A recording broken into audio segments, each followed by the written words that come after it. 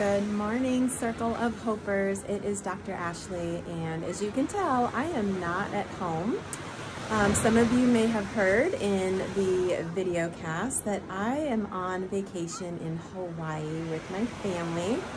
We are visiting the island of Oahu. Um, I'll show you a little bit of the background here. We are staying at a beachfront condo and I am filming this from our lanai. So sit out here and drink coffee and eat breakfast, watch the sunset. Isn't that gorgeous? It looks like a fake background, but it is actually right here behind me. So, as you guys know, I often get my inspiration for recovery hacks from my therapy sessions, and I haven't had any this week, so I have been thinking about you guys a lot and wondering what message do I want to share in this week's recovery hack? And this is what came to me yesterday. I was waiting in line at the Dole plantation, uh, the Dole pineapple plantation, and it was like an hour and a half wait time to get on the train. So they have about a 25 minute train ride called the Pineapple Express that takes you all through the pineapple plantation. And um, obviously I wanted to take my daughter on it so we got in line and we waited and we waited and it ended up being a little less than an hour and a half, but it was a, a decent size wait. So I'm sitting there thinking, what do I want to share? And this is what came to me. And it's all about perspective and choosing how we want to experience the world around us and how we want to experience our day, ourselves in our day. And we have choice in that. Now, before I left on this trip, I had decided that this was going to be a magical trip. That was my word, magical. This was our post-COVID trip. We promised our daughter, just got to get through COVID. We've got to get through quarantine and lockdown. And as soon as we are safe to travel, we will do a magical vacation. I think Hawaii is pretty magical, right? So before we left on this trip, I was saying like, this is going to be a magical trip. And one of my family members said, well, I hope you're right. And I remember thinking, oh, there's no hope in this. I'm not hanging this on everything going well for it to be magical. This is a decision that I've already made within myself that this will be a magical trip. And I can say that with such confidence because the magic isn't in everything going right because that never happens, right? The magic is in choosing what I am going to focus on. And I am going to focus on the magic, like this amazing palm tree right behind me, right? So I am going to focus on that. Now, we've gotten here and there have definitely been some things that are not very magical.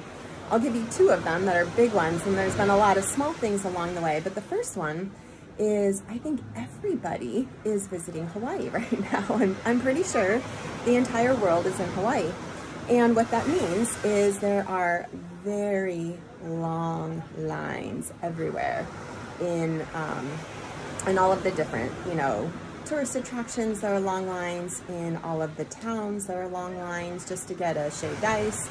On the roads, there's a lot of traffic. And we are spending a lot of time waiting in line, but it just is what it is, right?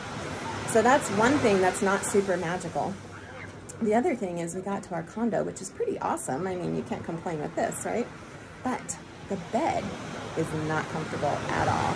We're here for nine days. That's nine nights on an uncomfortable bed. That is not magical. I'm someone who loves my sleep and that is not magical. But here's the thing, guys. I am choosing to find magic in other places. Okay, so those two things aren't super great, but they're not going to make up the narrative of my trip. They're just not, because that's not magical. What is magical, I'm shaking here, what is magical are these palm trees. What's magical is the sunset that I got to watch over the North Shore Beach last night. What's magical is the sea turtle that I got to watch swim up onto the beach, hang out for an hour, let me take a thousand pictures, maybe a thousand and one, and then swim back into the water. That was magical. What's magical is seeing the smile on my daughter's face. What's magical is hearing the ocean and seeing the turquoise water, getting in the water and just kind of bobbing with the waves, watching the dolphins swim out along the horizon. Um, and then the, the tiny little things, the beautiful flowers. I'm stopping on the side of the road to take pictures of the plumeria, which are everywhere. The Hawaiians are like, eh, plumeria, been there, done that. But I find it magical. They're just gorgeous flowers. So here's your recovery hack.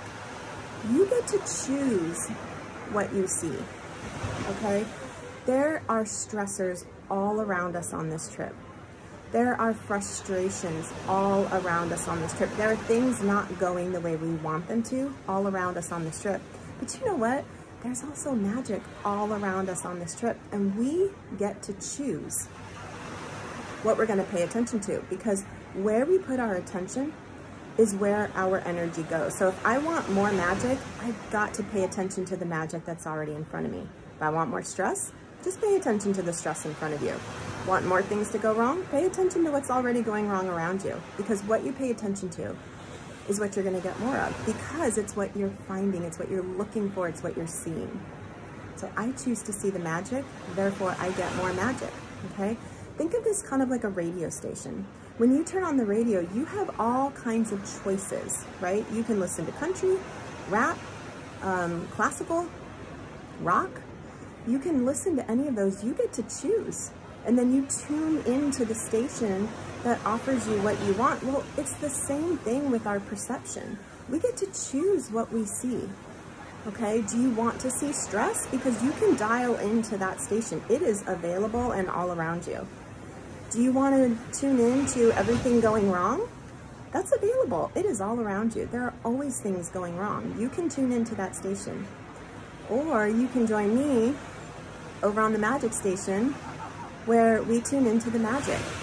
Whether you're in Hawaii, whether you're in just a monotonous, typical day at home, whether you are surrounded by some stressful things, I guarantee if you make the intentional and conscious decision to tune into magic, I guarantee you, you will find it.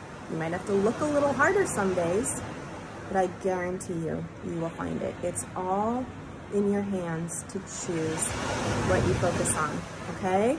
So that's your recovery hack. Pay attention to which stations you're tuning into this week. Are you tuning into magic? Are you tuning into stress? Are you tuning into everything going wrong? You get to decide. And when I get home from this trip and I go back to that family member and I'm going to say, it was magical. And she's going to say, wow, you're so lucky. And I'm going to say, oh no, it wasn't luck. Because there were plenty of stressors and plenty of things not working the way we wanted to and plenty of things that went wrong. But you know what? There was so much magic that I chose to dial into. Okay? So join me in finding the magic. It's around you. You just got to see it. All right, guys. I am thinking of you all and I really look forward to being back next week in our Wednesday video cast with Dr. Julie. Until then, much aloha. And a fun little fact, aloha is used for hello, goodbye, and love. Isn't that precious? Here in Hawaii, hello and love and goodbye are the same words. So, much aloha to you. I'll see you guys next week. Bye-bye.